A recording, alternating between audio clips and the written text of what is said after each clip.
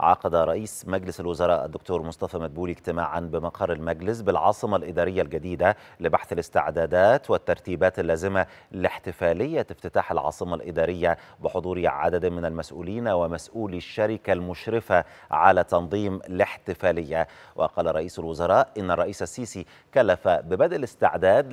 لاحتفالية افتتاح العاصمة الإدارية الجديدة مشيرا إلى أن الاجتماع يأتي لبحث سيناريوهات الاحتفالية المرتقبة وأشار الدكتور مدبولي إلى أن الاحتفالية ستكون على أعلى مستوى وسيتم من خلالها التعبير عن الجمهورية الجديدة التي أعلن عنها رئيس الجمهورية.